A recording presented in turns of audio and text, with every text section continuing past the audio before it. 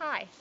My husband and I are out on a hike today on some crown land and we've just stopped by a beautiful um, creek and we've decided to make a fire and uh, have a cup of tea. Um, I love um, collecting wild edibles and sometimes it's nice to find a tea as well. Um, a tea won't give you the calories um, that the wild plants do if you eat them, but it will give you the nutrients and the vitamins and a real sense of satisfaction in making um, your own drink when you're out in the wild. So the, the tea I want to make today is um, yellow birch tea. Um, this is a yellow birch right here. Um, in case you, you don't know them, um, they're like birch in that they have a paper on them, but the paper doesn't come off in sheets. It comes off kind of stragglier like this.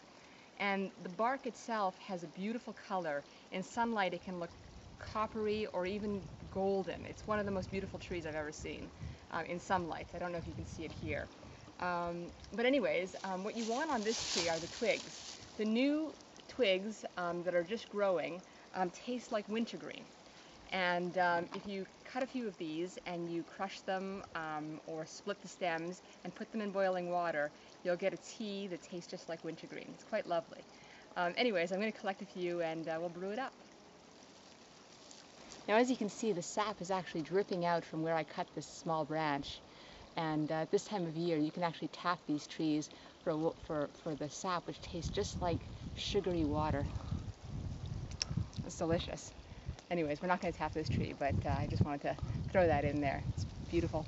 All right, let's make that tea. So we have a little fire going here, and the water is uh, sitting by the fire, and it should be boiling pretty soon.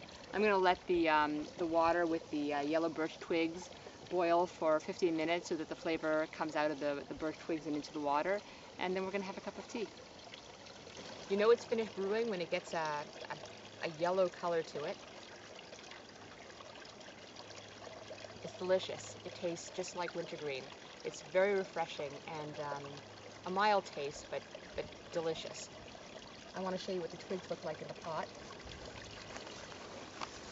So here they are. You just break them up and crush them a bit.